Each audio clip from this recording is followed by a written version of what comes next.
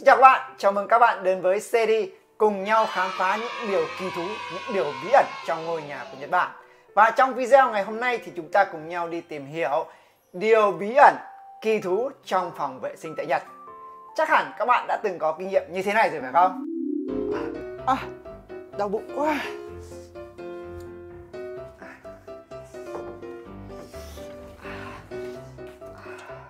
Trời đất, trời đã lạnh như thế này rồi mà phải ngồi vào cái bệ xí lạnh bút như thế Làm sao mà chịu được đây? Đúng rồi, Mùa đông, Trời thì lạnh buốt Mà chúng ta phải ngồi vào cái bệ xí Nó lạnh như thế này Thì thật là đáng sợ, phải không các bạn? Ok, Vậy thì Trong phòng vệ sinh của Nhật Bản, Người ta sẽ thiết kế cái bệ xí này trở nên rất rất là ấm áp. Nó như thế nào Thì mình và các bạn cùng theo dõi nhá. Ok, Trước tiên thì các bạn có thể nhìn thấy đây. Đây đây là hệ thống điện này thấy chưa nhỉ? Nó nối luôn vào. Đây các bạn thấy. Nó nối luôn vào cái vệ xí này của chúng ta này. Thế nên là chúng ta ngồi vào đây thì chúng ta cảm thấy rất là ấm áp và thoải mái dễ chịu các bạn ạ. Ok đó là nhờ cái phần này nhá. Và cái phần này cũng là phần điện này nó kết nối luôn một điều nữa đó là nó kết nối luôn cái hệ thống hệ thống gì? Hệ thống rửa. Rửa cái gì thì các bạn nhìn thấy đây, đây rồi đúng không? Ừ. nó sẽ rửa cho mông của chúng ta chưa nào? Hai và nước của nó tất nhiên là phải ấm rồi các bạn nhá. Ok và sau đây mình xin được giới thiệu cụ thể chi tiết từng, từng tí một. Hãy trước tiên chúng ta hãy cùng nhau nhìn vào đây. Ở bên trong này nó ghi đó là suy c cái chữ hán này là suy c suy c này là áp lực nước đúng không? Và bên đây chúng ta chúng ta có thể hai nút đó là nút yếu và nút mạnh đúng không? Nếu mà chúng ta ấn vào nút mạnh đây đấy thì nó sẽ tăng lên này. Thế nào? Hay kể từ lúc mình vào căn nhà này thì vợ mình luôn để nó ở chế độ giữa này đúng không? Ừ. tuy nhiên thì tí nữa mình sẽ cùng nhau thử đến mức lớn nhất mạnh nhất xem nó như thế nào nhá. Ok. Đợi là tí nữa mình thực hành luôn cho các bạn xem được chưa nào. Ok. Còn ở bên trên này nút này này. Nút này power tức là à, năng lượng hay là sức mạnh đúng không? Sức mạnh gì đây? Này đặt siêu đặt siêu tức là khử mồi. Sức mạnh khử mồi đúng không? Chúng ta ấn vào đây. Thì, thì nó sẽ kêu to lên đây là cái cái cái lọc không khí mà, nó sẽ kêu to ấy, nhưng mà hiện tại bây giờ nó đang không không kêu. Chắc là phải đóng cửa và nó mới kêu các bạn ạ. Ok. Ừ. còn này mưa bự mưa bự là di chuyển. Di chuyển thì như thế nào thì ừ, cái này thì mình bấm vào nó không không thấy nó hoạt động gì cả, thì không không rõ nó là cái gì. Để chưa nào? Thực ra cái máy vệ sinh nhà mình nó cũng ít tính năng như này thôi, nên là rất là dễ sử dụng có nhiều nhà máy nó rất là nhiều tính năng nhìn hoái cả mắt không biết bấm bấm vào đâu. Tuy nhiên các bạn chỉ cần ấn vào một vài cái nút giống như cái máy nhà mình thôi là các bạn có thể sử dụng được rồi nhá. Ok đây đây này ở đây có một nút là oxy là rửa này để chưa nào. Còn này còn đây nó rửa này thì tùy vào cái gì sức mạnh của nước ở dưới này để cho áp lực nước này thì chúng ta sẽ lựa chọn được chưa? Còn này nếu mà chúng ta muốn nhẹ nhàng cai đúng không? Cai thì bấm vào đây để chưa nào. Đây còn bide đê tức là các bạn nhìn thấy nó từ dưới lên này. Đấy nó rửa từ dưới lên được chưa? Tí nữa mình sẽ cho các bạn xem nước nó phun từ dưới lên như thế nào. Chưa nào? Hay còn đây là gì nhỉ? Ừ, bên trên này là gì nhỉ? Ừ.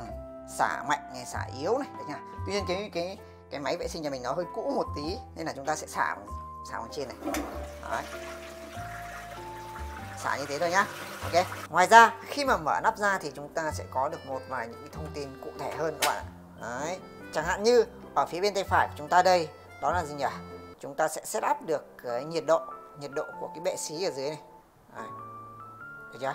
Bên dạ là cái bệ xí của chúng ta bên dưới này. Được chưa nào?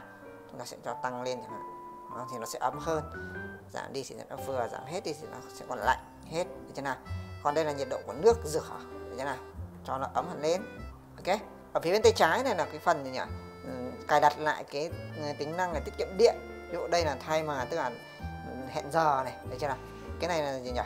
Uh, omakase omakase tức là uh, chúng ta phó mặc cho nó hay là để chế độ tự động ấy tự, tự, tự động đấy chưa nào? Còn cái này mới là phần đặc biệt này đúng không? Nozuru soji soji chúng ta biết là gì? Đúng không? Sori tức là rửa rồi đúng không nozuru là cái gì? Bây giờ chúng ta sẽ sẽ, sẽ bấm vào đây nhá và các bạn sẽ xem. Đấy là cái nô dư lượng của chúng ta. Đấy cái này gọi là cái nô dư mà nó sẽ phun nước lên đấy các bạn ạ. Ok chưa? Ừ. đây là gì nhỉ? Mình sẽ xô gì tức là mình sẽ rửa sạch cái này. Cuối cùng vẫn là thực chiến đấy các bạn ạ. Và bây giờ mình sẽ thử ngay ấn các nút này để xem nó hoạt động ra sao nhá. Trước tiên là mình ấn vào nút OCD này. Như nào? Và cái mức độ này tạm thời mình sẽ để mức độ giữa mức độ 3 nhé các bạn nhé có 5 mức độ mình sẽ để mức, mức độ 3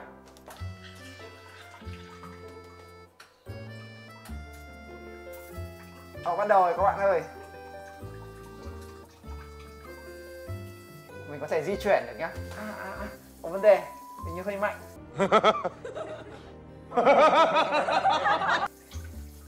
Nhưng mà thôi mình sẽ cho lên mức độ Thử đúng không? Thử lên mức độ tối đa xem nó mạnh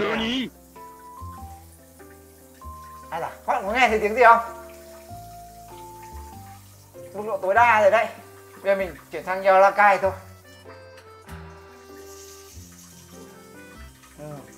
Được Nếu mà lúc nào đi nặng quá thì chúng ta hãy ấn OCD Còn bình thường thì chúng ta cứ chuyển sang Yalakai cũng được Thấy chưa? Đấy. Và chúng ta sẽ di chuyển Rồi thì nếu mà muốn nó phun từ dưới lên trên để rửa sạch hơn thì chúng ta bấm vào cái nút à, BD bí đê này bí đê Đấy, nút nút bí đê đấy Đấy.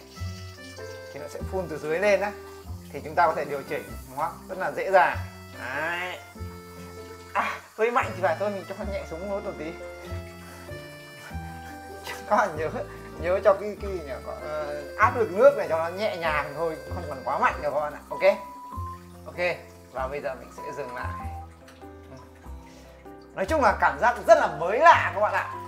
Nếu mà các bạn nào có cơ hội vào nhà của người Nhật hay là chúng ta đi vào những khách sạn 5 sao hay là những nơi nào đó có những cái thiết bị như thế này thì các bạn nhớ phải sử dụng thử một lần nhá ok kể cả trong mùa rét như thế này thì chúng ta vẫn có thể ngồi một cách rất là ấm áp đó, cảm giác rất là thư thái thoải mái nhất được chưa nào vậy là hôm nay chúng mình đã giới thiệu cho các bạn điều bí mật trong phòng vệ sinh của Nhật Bản rồi Ngoài ra thì chúng ta còn học được một số từ vựng ở trên này đúng không?